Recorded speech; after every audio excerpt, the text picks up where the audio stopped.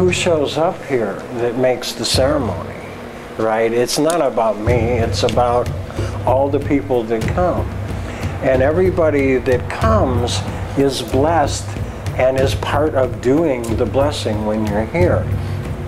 Whether it's the same thing or whether it's something new or different, the idea that we come with this intention that we're going to do blessing, that we're bringing love and light, that we're doing something positive, that we want to clean out anything that's unlike that, that in itself energetically permeates through everybody who participates in that. I call to you now, Spirit, in a good and a humble way, all those that are listening and witnessing here with us. As you hear the tingshas vibrate that sound, it's sending out the intention that's just been spoken for this room and all that enter this room. That they feel the love, that they feel the healing.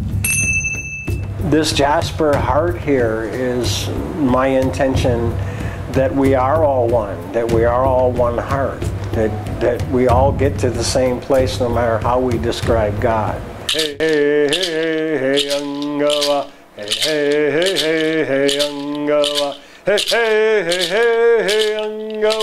Hey, hey, hey, hey, hey. Hey, hey, hey, hey. Feel the gratitude that I feel in this circle, in this room, in this house. The love and the light and the healing that you bring and shine through us. Thank you for your assistance and your guidance here today, your presence. I ask for all these therapists and students, all that come here, that they not take on anybody else's stuff but their own. We all have enough challenges without taking on other people's things. I thank you for listening to our prayer and this intention, Creator. We see it as such, so it is. Atakuyas.